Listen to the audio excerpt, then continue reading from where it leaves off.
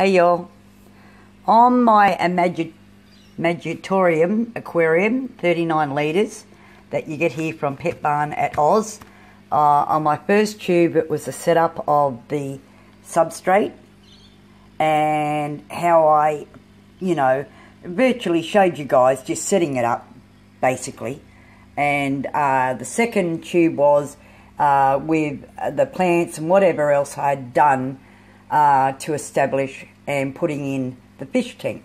So this is my third tube. So, and as I said my second one, I was going to update you guys when I did something with my aquarium. And this tube here is to give you an update of what I've done, what I've been doing, and what I've found out since. Okay. So, and as I said, I, I had a snail in here and uh, a mystery snail. And I thought, you know, this substrate would be suitable. But today, when I went into my local aquarium, um, and this lady I, I, I, deal off with my, my fish and, you know, plants and whatever else. She's an expert at it, so she's not spinning any yarns. And she was to say that this is great, it looks wonderful, but if you keep snails, um, then or shrimp, they can die because of the iron that comes out into the water. It won't affect um, any of the fish, but it will affect snails and shrimp. So there you go. So that's one reason why I shouldn't be using it. But like I said, this this aquarium here now is totally established. So if anything, I'll I'll just get bigger and better now. I mean, I've got aquarium fever, as one would say. You know, once you see it all set up and sitting there a night time and looking looking at all the plants and all the fish um, is really beautiful. And as long as your water's clean and whatever else, it's it's it's so relaxing. It's not funny, but anyway. So I'll get on to what I was doing now. Look, I have brought some plants. I brought this big one here at the back. Okay, I don't know the name of it, but I will find out and I will let you guys know. But that's an aquarium plant. Okay, now this is a real, I got this less than $8 at my local aquarium.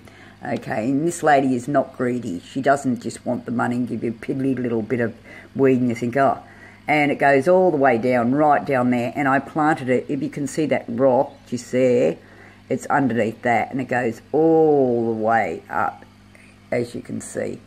And it's lovely. So I brought that today and that's really, really helpful camouflage and you know, not that the fish need it, but it looks so nice sitting there in the back. And as you guys are kind of getting a bit of a guess what sort of a scenery I want, I want, you know, lush green, you know, background coming back with more plants at the back and more room in the front for the plants, uh, you know, the fish to move around and whatever else. But that's what I've done and that's what I'm doing. That's my landscape little idea. And I brought another rock today. Yeah, that's really lovely. Nice piece of rock. So I could actually put it there and see this, that's moss. Okay, so I needed something for my moss and other plants and my grass there to grow. And that looked really nice. It was a small little bit. And it didn't invade too much um, space there. So I got that today. And that grows really well with the plants too. And this little terracotta pot, you buy them on eBay buy for a couple of dollars, which I've done.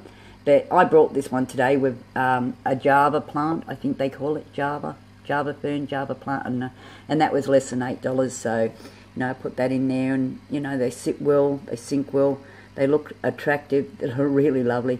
And I got some moss today. I didn't have to buy that, which a piece like that from eBay, no kidding, is around about $10, which is ridiculous, really. But anyway, I was I was lucky enough to be given a heap of moss today by uh, this lady that I buy my fish and whatever else off. But anyway, that's in there. And this last, my second last tube uh, was uh, when I just put this in, and I did show you guys. But ever since then, look, it's really come on. It's really a versatile weed to work with. It's carpet grass, and only I got this off eBay, five dollars for you know five centimeter in length um, piece of, they call it carpet grass, so, and she's just taken off, as you can see, it's really healthy, and so I just put her in the front there, So, and I want it to grow along the substrate, which is it's actually doing, and you can see the mosses coming on really well. And uh, my bonsai tree that I got off eBay, which was a rip-off because you can make your own. This cost me $40, the actual branch, and, you know, and the only thing is that you have to stick these little platforms on the prongs, you know, your little pieces of, um, you know, uh, stems hanging out. Collect it, you know, from your river or whatever else and boil your wood and have fun. That's what I intend to do. But anyway, so I've wrap, you know, moss and whatever else to get that effect of it growing around a tree, which looks all right to me. Okay. So, and as you can see, I've just got wood there. And this is the piece of moss I was lucky enough to get today. And that's a heap. And the plants, uh, the fish love it. It's really healthy. So, and my tank's looking really homey for them, as you can see. And I got some more, they're not tetras, they're the family of tetras. They're, the, they're the different type of tetras. I got two of them today.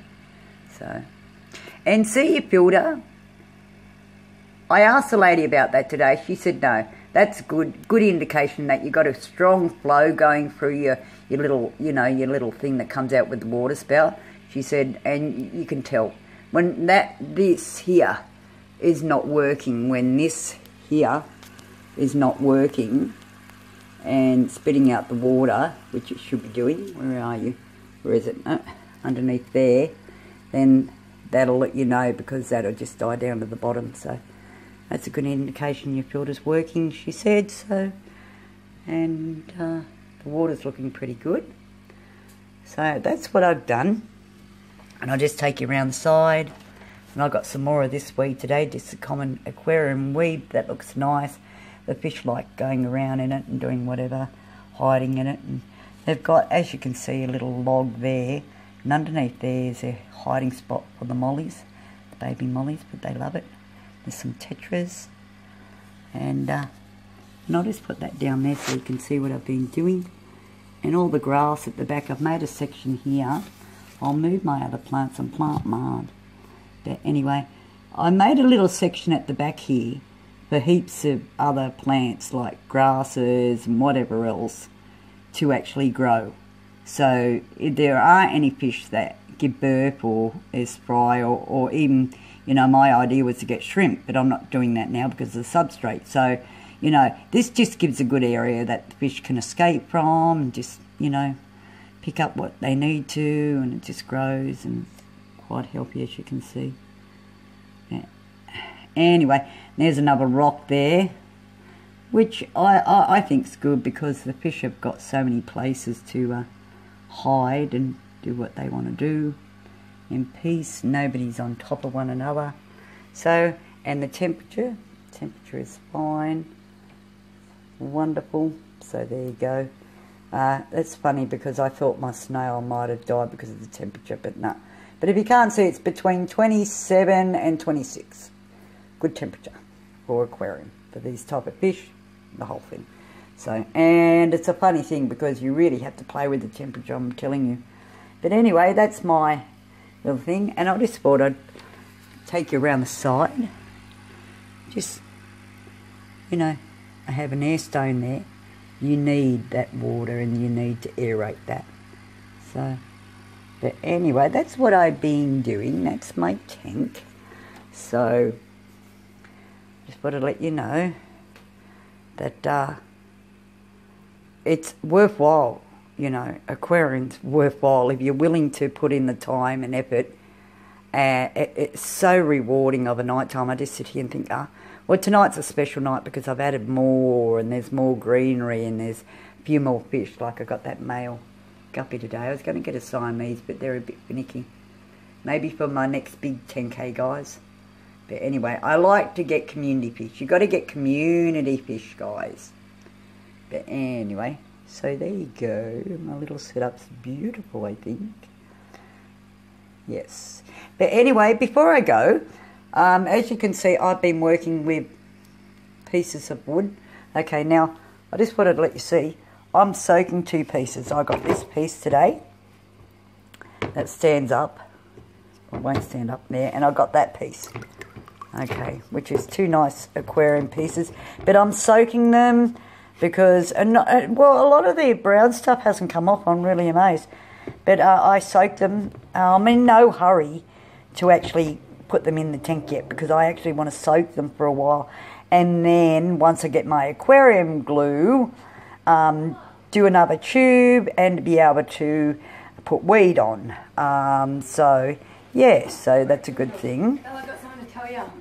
Sorry, you guys, I was interrupted by one of my daughters coming in. But anyway, like I was saying, with the wood, I'm soaking it and then I will bind moss. Uh, the moss that you've seen in the tank will go on one of these logs and uh, go into the aquarium. So hopefully, right, that um, this tube um, may have to go on separately because I, I'm not good at editing and I don't know how to join the two, you know, trim it, do whatever you do. So might have been interrupted, but this is a follow up of the tube. As I said, I was interrupted doing my tube for you guys, but that's the wood anyway, and that's what I'm doing. Soaking for a while, no hurry to get it in the aquarium, and then I'll bind moss. But as I said, I'm waiting for my aquarium glue, uh, which I'll have in the next week or two, and I'll be able to glue the plants or whatever else on these pieces of wood. So there you go. So, and also, I just wanted to know, let you guys know, sorry, is that I was working with tropical flakes from Coles. Look, no offence, this is a good emergency backup, but it's no nothing. There, there's no no nutrition in it for the the fish at all, um, which is a bit of a ugh, because uh, I was reading up how they actually make it, and that's not it's not too healthy.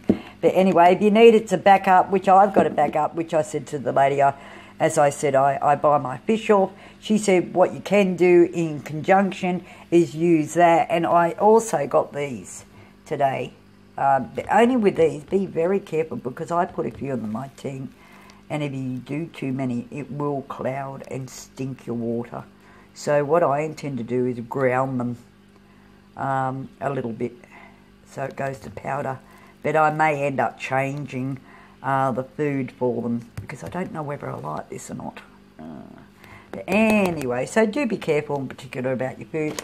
And algae wafers, this is the ones I use, not for those little white sucker fish, but for the plateau. Um, uh, but the plateau, I mean, it gets plenty of food. It's not starved. Got some algae. It's got the wood and whatever else. So I'm going good. So that's my little update for this time. Um, I hope you really enjoyed it. As I said, I'm not a fish person. I don't do tubes on fish, but you know, I do other, you know, other topics on my channel. Um, but while I'm doing this and while I'm creating something beautiful, I share it with you guys. And I thought, well, you know, it might be useful, it may not be, but if you're working with this tank, as I said, which I brought, and I, I went to look up information on the tube, they find there was nothing, it was useless. So I thought, well, everybody gets a new thing, you know, people aren't aware of or haven't seen it on tube, so update that. So that's what I've done. But until next time, happy fishing. Um, and as I said, when I get more updates, whatever else, and I think there's something that's worthwhile for you guys to actually see, I'll upload another tube on my aquarium. But anyway, happy aquarium um, hobby going, guys, and uh, look after yourself. And till next time, bye, y'all.